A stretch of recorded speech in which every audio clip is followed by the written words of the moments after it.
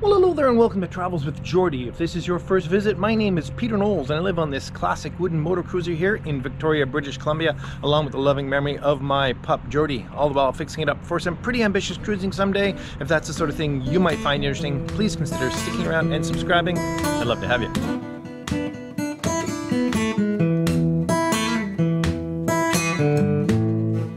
Is advancing the fuel system, but to be fair, I still don't have it operational, uh, largely to do with fittings that I can't seem to get. But uh, other than that, I did advance it a fair amount. Let's jump back in time and we'll see what we got going.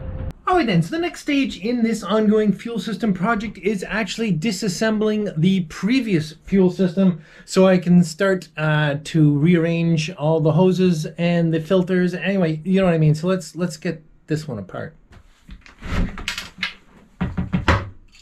Okay, that means emptying all the fuel lines of the existing fuel system. And I don't know if I've ever mentioned it before, but I hate diesel.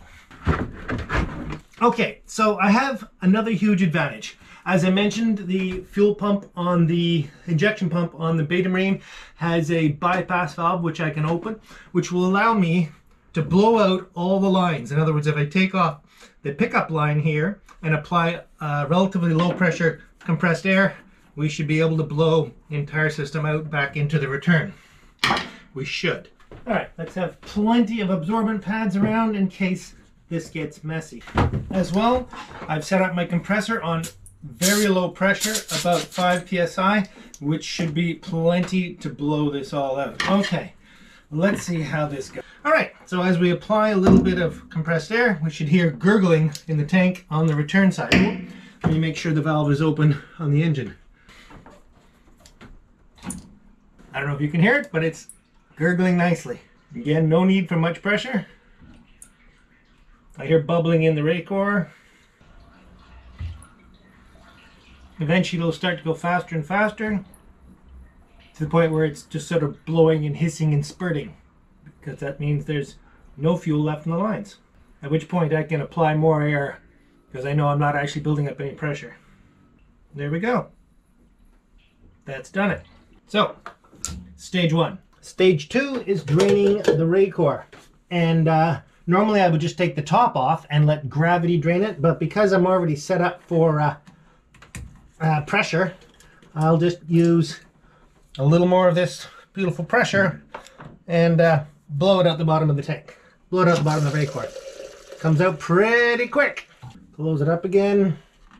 And let's have a look at what the fuel has looked like so far this season. So you can see there's really no grunge and what there isn't is any water. Okay, but the Racor sealed up again. I can crank the pressure up a little bit because I want a little bit of velocity to blow uh, drops of oil out of the low spots in the hose. Because I know the pressure can't build up too much because um, there's no major liquid in there. I know I can give it a little more and make sure that it picks up any last little bits that might be in low spots. Excellent. And good morning, folks. Well, carrying on with the fuel system, I didn't show you uh, finishing taking apart the old system because it just turned into an oily mess. Well, not too bad, actually. It turned out really well, and I didn't want to keep touching the camera with it. Anyway, everything is apart and cleaned up, and I'm now in the process of laying out all the new uh, components uh, that are going to go on the panel that has to be able to sit right there. And what I mean by right here is in this relatively small section of the uh, engine box. I want the two filters to be right there at the back end so they're easily accessible um, if I have to get at either changing filters or changing the valves to switch, select which tank I'm using for. Anyway, it's my ambition to put them right there and I think I can do it. So let's get going on that. Okay, so uh, my hope, I said, is to fit it in uh, within uh, a 15 inch opening, which is what we have uh, in the sole. And so the two Racors, as well as the two main selector valves, as well as two electric fuel pumps, I only have one right now, and all the associated hosing has to fit in that. And I want that to be as a serviceable unit. There's only a few hoses uh, connected to it, so it could all come out as one if it needed some major work. Otherwise, I want everything to be serviceable in place. Um, so the the board that it fits on will be about this big. Um, the electric fuel pumps will sit right in here. Uh, fuel pump coming, fuel coming in, then pumped back up into the Racors. Similar on both sides. The outlets will feed up into uh, one of the two uh, valves here. This one's going to be the um, uh, supply side, and the other valve will sit right on top of it, and this will be the return selector. And I think that's going to work out pretty well. I have to make a block to support them out here, and everything is nice and compact. And there's a few features that I'm really, really pleased with. One of them is that if you turn the Racors in their mounts, um, you can shorten the whole arrangement this way because the fittings come in quite a bit. Plus, it actually works out quite well with creating some space. So I'm actually quite pleased. Let's start to put it together.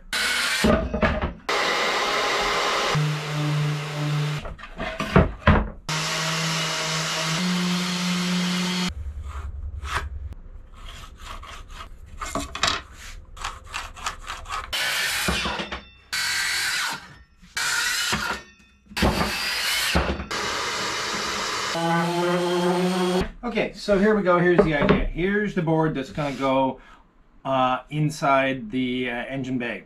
Now this is actually 18 inches wide and I have 15 and a half inches of opening, uh, but that's okay because I only have to get the filter to the point where the filter cover is within that 15 and a half inches. Uh, for instance, this fuel pump and other things can hang off the side, that's fine. So the basic layout is pretty much this block um, up here somewhere, uh, centered on this.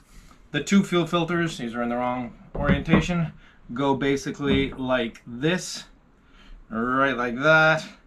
The two fuel pumps, again I only have one right now, go on here.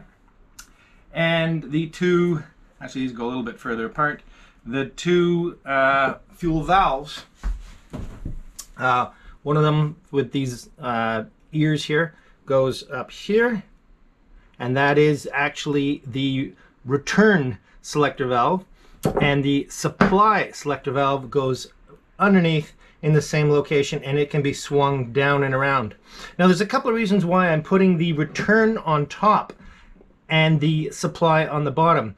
And one of them is because I don't want to ever be in a situation where the return is in the off position. Uh, because, well, as you can imagine, that would be pretty ugly. With the engine running, uh, there would be no way for return uh, fuel to come in and the engine would either starve or there'd be a burst. I know it would be bad. But the neat thing about making the upper valve the return, if I leave it in the off position, I can't close the hatch. So it'll easily remind me that I mustn't do that. Uh, in the case of the return side, I mean the supply side, I can, if I need to, turn the entire fuel system off by swinging this valve down.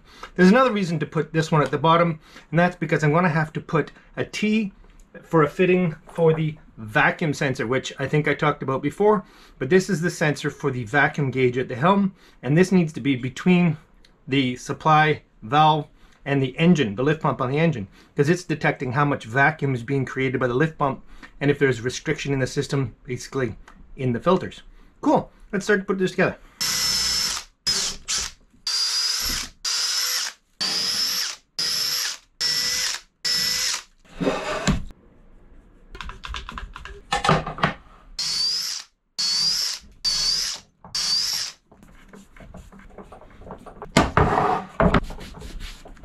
Alright then, so let's mount the filters. And they sit right underneath the block.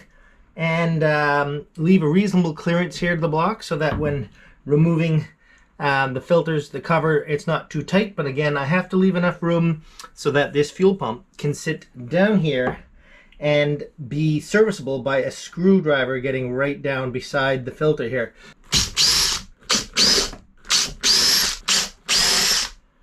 These will actually uh, eventually be um, carriage bolts, but they're going on with screws for now for the dry fit. Very nice. Love it, love it, love it. Okay, let's get these valves on. Now, the return valve is pretty much straightforward. It sits on top. It has uh, two fittings that go down and uh, one fitting that goes straight back which is the return, and that'll just loop down and around and back to the um, from the uh, to the engine. So let's put this on temporarily.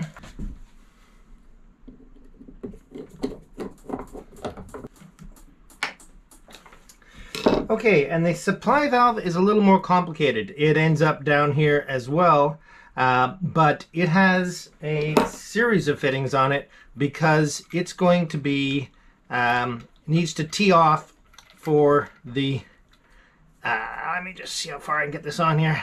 There we go. Just wind this on here. Of course, there's no tape on here yet, so these aren't accurate. And there's a bushing in here to go from half inch to eighth inch, and here is the uh, vacuum sensor, which will screw right in there. So let's put some screws in here.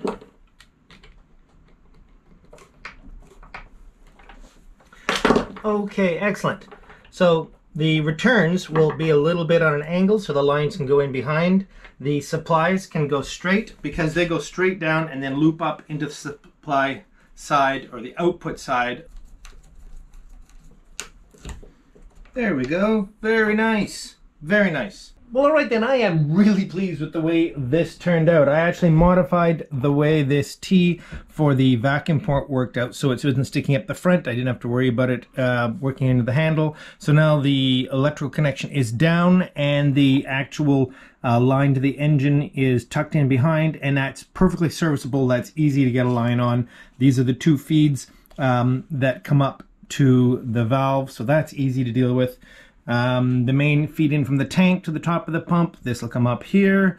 And as I said, from the other side of the filter up to the T and then off to the engine, not the T, but the valve. And then the returns, the two returns from the two tanks will come up here and the final return line uh, to the engine will shoot down and through there. Anyway, I am very, very pleased with this. It's compact, it's tidy, uh, it's not crowded, it's still serviceable. Just need to get the other pump um, but I'm going to take it all apart now and get some oil on the wood so it's protected.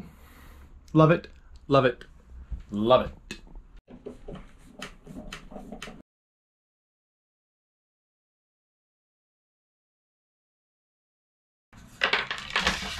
Okay,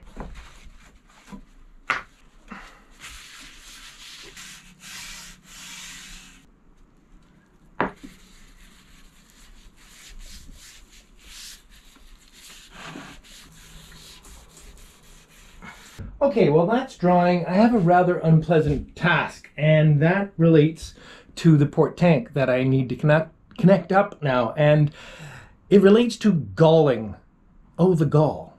Let me explain.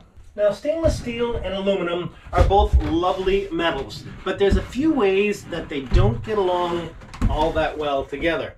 And one of them is something called galling. Now, now, I did a test fit into this um, no, this, yes, this uh, threaded boss the other day, and I did it with this stainless steel uh, nipple. Now, it's all very well to take stainless steel and do a test fit into aluminum, and if you're careful, everything is fine. However, stainless steel and aluminum have this strange phenomenon that they bite each other. Uh, in other words, they gall. So I had just hand tightened this in here, not even not even tight, just a little bit. And when I tried to wind it out again, it locked. And I mean physically locked into each other as if I'd welded it. Anyway, uh, if you can see what it did to the bit of stainless on here, and I can tell you what happened to the threads in here, just the very top two threads um, are damaged and they need to be cleaned up. And I'll show you how I'm going to do that. A Bit ambitious. Okay, now the tightest way to clean this up would be with a three quarter of an inch um, pipe thread tap. Uh, which I could just wind in there. It would clean the threads quite nicely and we'd be all set. However, I don't have one of those and I don't feel like buying one just to fix this. So there's a hack. Buy a nipple or other fitting of steel. In other words, um, black iron, same pipe thread, but now what I'm going to do is I'm going to take a saw and I'm going to cut a few slots in it, thereby turning this tapered pipe fitting into a tap, or at least a rudimentary tap. And uh, I'll wind it into there and clean up those threads. Now, there'll be swarf generic term for bits of metal. So I'm gonna have to take all these screws out, fasteners out, and do that off the tank because I do not want junk in the tank. So that I'm not dealing with an unwieldy mess, I'm gonna take the fuel sender back out as well.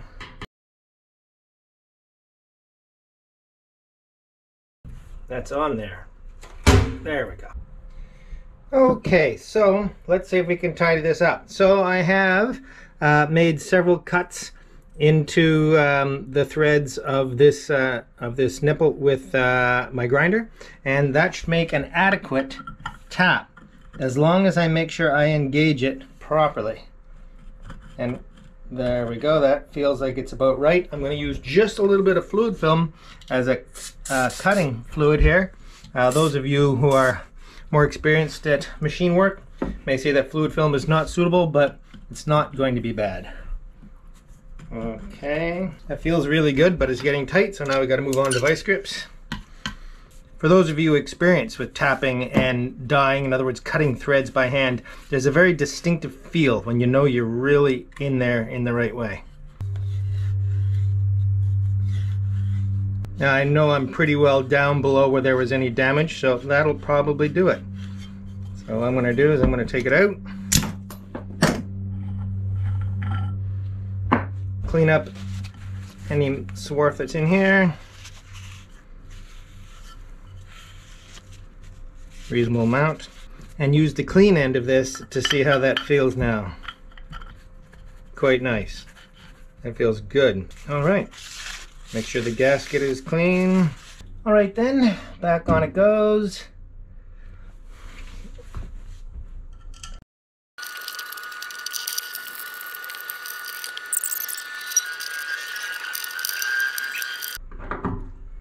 There we go. Love it, love it, love it. Sorted. Well, hello there and welcome to the Travels with Geordie Beer of the Week. Let's get straight to the beer. This is uh, White Tooth Brewing and it's the Icefields IPA. Now this was a gift from a very nice gentleman who uh, arrived in the marina in his beautiful sailboat a couple weeks back and uh, he's from Golden and this is from Golden in British Columbia so uh, I'm very grateful for that. Let's see what we think of it. It's nice and cold. I'm pouring it in my favorite glass. I don't know why this is my favorite glass. It just is lately. Well, we still haven't got the fuel system fully up and running. It's been quite a few more steps than I anticipated. And in fact, I've had to be pretty patient because I haven't uh, had access to all the materials and supplies I needed to finish it. And some other things were keeping me a bit busy. But anyway, we're very, very close and I'm very happy with how it's going. Uh, so, uh, Icefields.